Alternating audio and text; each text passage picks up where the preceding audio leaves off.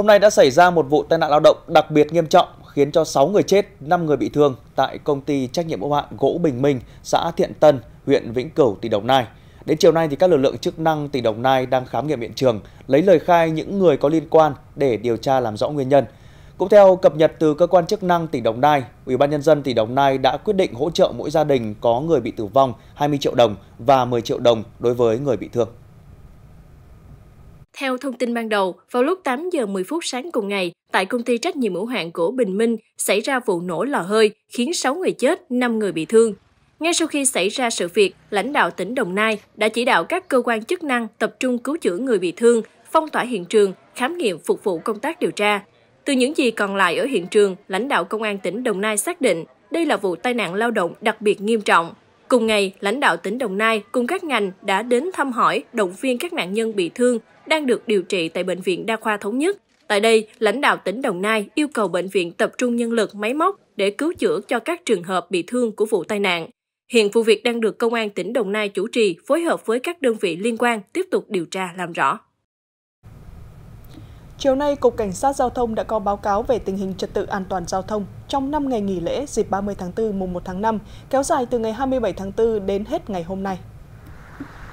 Báo cáo của Cục Cảnh sát Giao thông Bộ Công an cho biết trong 5 ngày nghỉ lễ vừa qua, toàn quốc đã có 347 vụ tai nạn giao thông, làm tử vong 138 người và bị thương 285 người. Đáng chú ý đã có 346 vụ tai nạn giao thông xảy ra trên lĩnh vực đường bộ, chỉ có một vụ xảy ra ở lĩnh vực đường thủy làm tử vong một người. Tổng hợp trong 5 ngày nghỉ lễ, lực lượng cảnh sát giao thông đã xử phạt hơn 78.200 trường hợp vi phạm, phạt tiền hơn 171 tỷ đồng, tạm giữ hơn 740 xe ô tô và hơn 29.300 xe mô tô.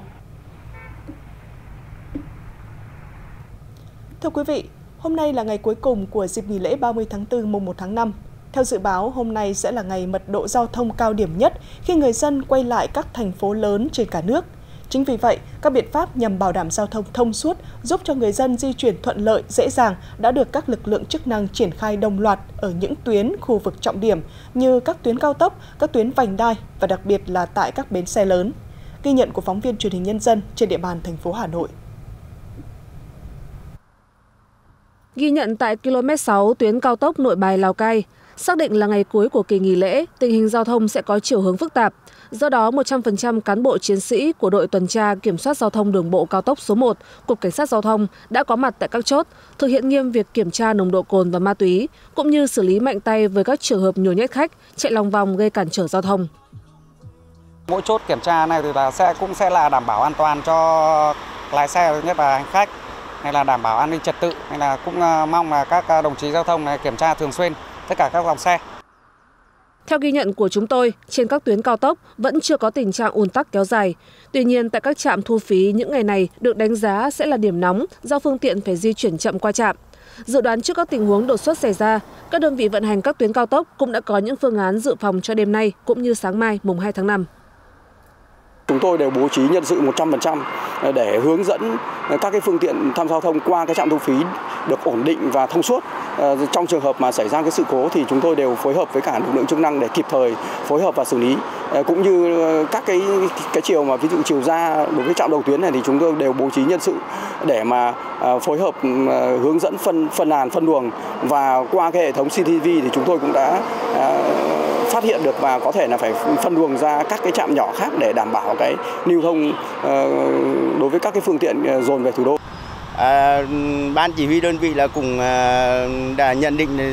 đặt ra một số tình huống là ở đây là có cái tuyến đường vành đai ba trên cao là nếu xảy ra tai nạn thì là đơn vị đã chủ động từng cái à, hình thức cẩu kéo phương tiện và giám sát những cái việc làm của từ xa và từ có những cái hướng nắm thông tin tình hình từ các cái địa phương lân cận để tạo điều kiện tốt nhất cho người dân trở lại ừ, làm việc. Dự báo trong chiều tối và đêm nay sẽ là thời điểm lưu lượng phương tiện trở về Hà Nội tăng cao nhất. Tuy nhiên, với sự chuẩn bị kỹ các phương án đón người dân quay trở lại thành phố của các lực lượng chức năng, thì người dân sẽ có được chuyến đi thuận lợi, thông suốt và an toàn.